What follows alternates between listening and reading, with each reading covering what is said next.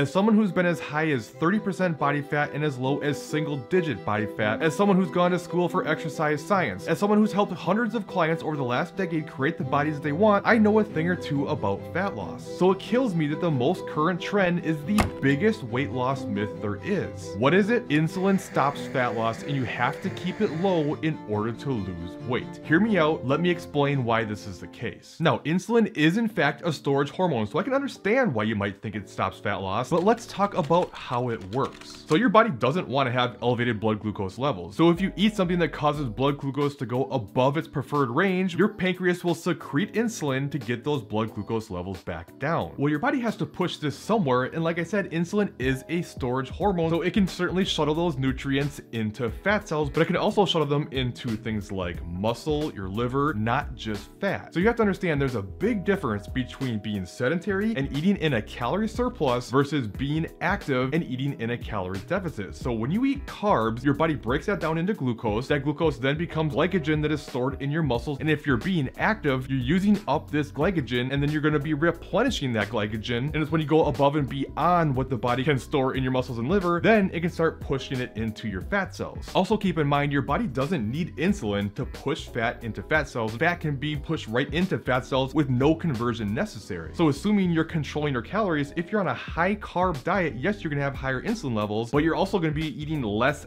fat that can be pushed into fat cells. If you're eating a higher fat diet, you're gonna have lower insulin levels, but there's gonna be more fat to be pushed into adipose tissue. So most people seem to think fat burning is like this on and off switch, but your body is always simultaneously burning fat and storing fat. It's your total balance that determines whether you're gaining weight or losing weight, which is why if you're in a calorie deficit, that's gonna trump the effect from insulin, which for what it's worth, when I got the leanest I've ever been in my life, I started that diet on over 300 grams of carbs. The lowest they ever got for a weekly average was 188 grams of carbs. Now, many may argue, well, what about insulin resistance like you get with diabetes, which happens because insulin isn't able to regulate your blood glucose? Well, first, of course, if you have a medical condition where you have to control insulin levels, this video isn't for you. You should be following your doctor's advice, but also understand the best way to improve your insulin sensitivity is to lose body fat, regardless of if you prefer a higher or lower fat approach. But don't just take my word for it. Research has pretty consistently shown when you equate for calories and protein, whether you prefer to do a higher fat or higher carb diet, there's really no difference in fat loss. And I've shown these before and some have made the argument, well, it's just not low carb enough. It needs to be more of a keto diet. But you know what? That's not really true either. In fact, there's been research that looked at a low carb diet that put people into ketosis versus those that didn't, and there was no metabolic difference. Now, this study will probably blow your mind if you think insulin's the devil. What they did is they took a calorie and protein equated diet and they wanted to see if you intentionally increased insulin, if it would make a difference in fat loss. One group got 30 grams of carbs per day, the other group got 300 grams of carbs per day, and the lower carb group did have